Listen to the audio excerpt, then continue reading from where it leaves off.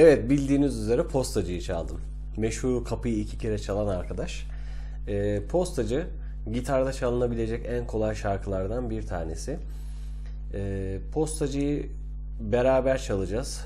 Notalarıyla ve tablarıyla beraber sizler de takip edebileceksiniz.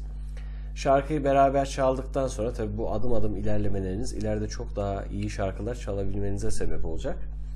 Daha dün annemizin videosundan sonra postacıyı çalmak bence çok yerinde bir e, hareket olur diye düşündüm.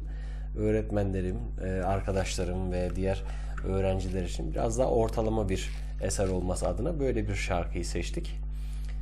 Metronomu ayarlıyorum tekrar e, beraber çalabilmemiz için. Galiba bu ritim uygundur. Birlikte çalacağız. Ben metronomla beraber tekrar çalacağım eseri. Daha sonra biraz da hızlandırılmış versiyonuyla çalacağım. Yetişmeye çalışın. Biraz daha zorlayın kendinizi. Bakalım nasıl gidiyor. Hep beraber görelim. Evet ritmi takip ediyorum. Ee, ritmi aldıktan sonra şarkıyı çalmaya başlayacağım. Ve...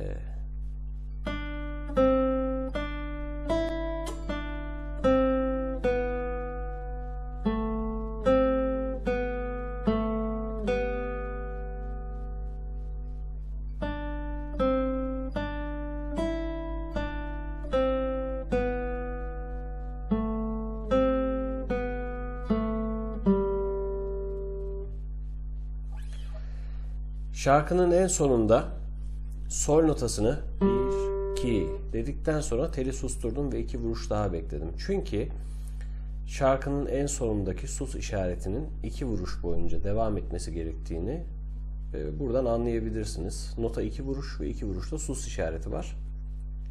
Şarkının en sonunda görebileceğiniz bir tekrar işareti var. Bu tekrar işareti sol anahtarlı dizekte iki tane nokta. Aynı şekilde tab yönteminin olduğu dizek üzerinde de iki tane nokta olarak gösterilir.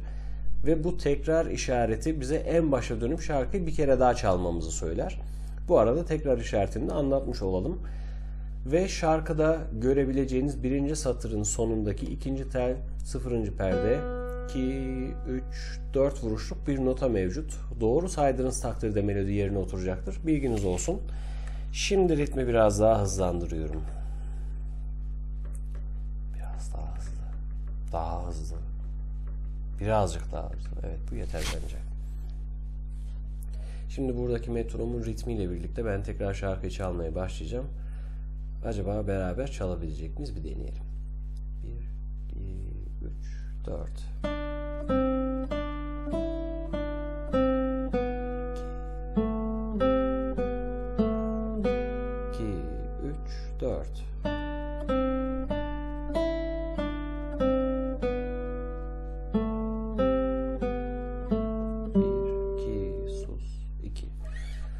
Bir sonraki videoda görüşmek üzere. Hoşçakalın.